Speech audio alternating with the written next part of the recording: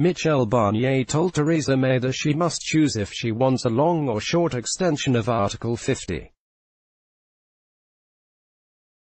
Even though there is no guarantee she will be given one, Downing Street had earlier confirmed that Mrs. May would write to Donald Tusk, the European Council president, to request an extension, although the exact time frame of the extension was not revealed. Some insiders believe she will ask for an extension until the 30th of June, with the option of pushing this back to 2020 if the deal has still not been approved by Parliament. Mr. Barnier said an extension would only extend the uncertainty, and that uncertainty costs, as EU leaders can't extend uncertainty without having a good reason for it, he added.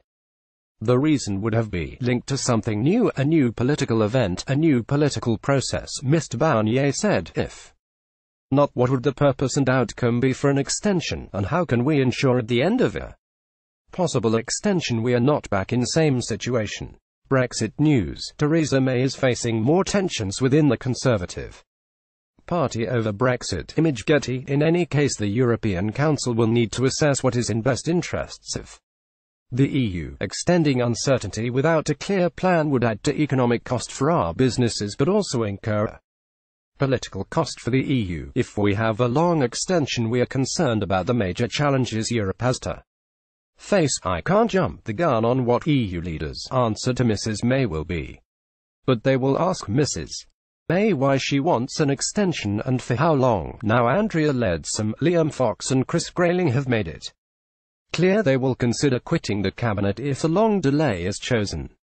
Brexit news. Michel Barnier has warned the UK needs a valid reason for delaying Brexit. Image Getty. On Tuesday, a cabinet meeting was held, in which Ms.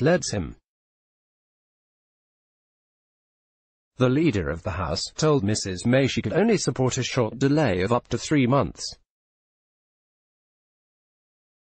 However, this would only be on the condition that Britain leaves with no deal at the end of June if there is still no withdrawal agreement by then.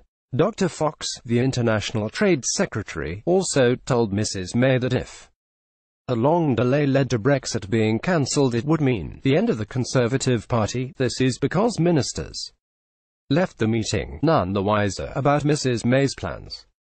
Brexit news. Andrea Leadsom is not happy with the lack Information over the Brexit delay. Image Getty. Stephen Barclay, the Brexit secretary, said to the BBC there was the growing risk of no Brexit. If there is a long delay, Britain will have to take part in the European elections, which begin on May 23, but Mrs May has previously said this would be a failure by Parliament to deliver on the Brexit referendum result. The government now a deadline of April 11 to figure out a plan before it would have to commit to the elections.